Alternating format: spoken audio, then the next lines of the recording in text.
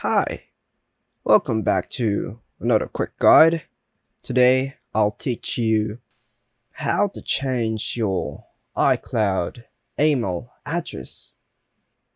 And it's literally an easy process, so make sure to watch until the end of the video to know how it's done. If you lost access to the email account, linked to your Apple ID, it's a good idea to update it to a new one. Now, keep in mind that changing your email address won't result in any data loss on your iPhone. All your backups, contacts, purchases, and other account information will remain intact. To change your email address, you have to follow these steps. Step 1 Open the settings app on your iPhone. Step 2. Tap on your Apple ID.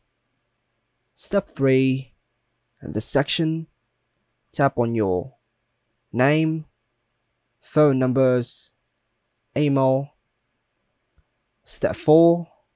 Tap on edit.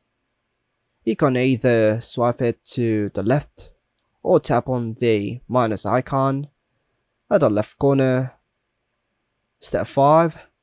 Choose Add email address. 6. Enter your iPhone password. 7. Input the new email address. Make sure it's an email address you own and have access to. Then tap Next. Step 8.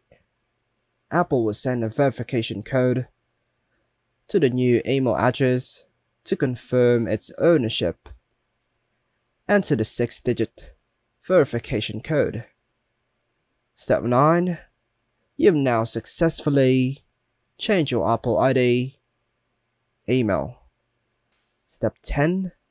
The new email address is now linked to your Apple ID and will be synced to other devices connected to your Apple ID.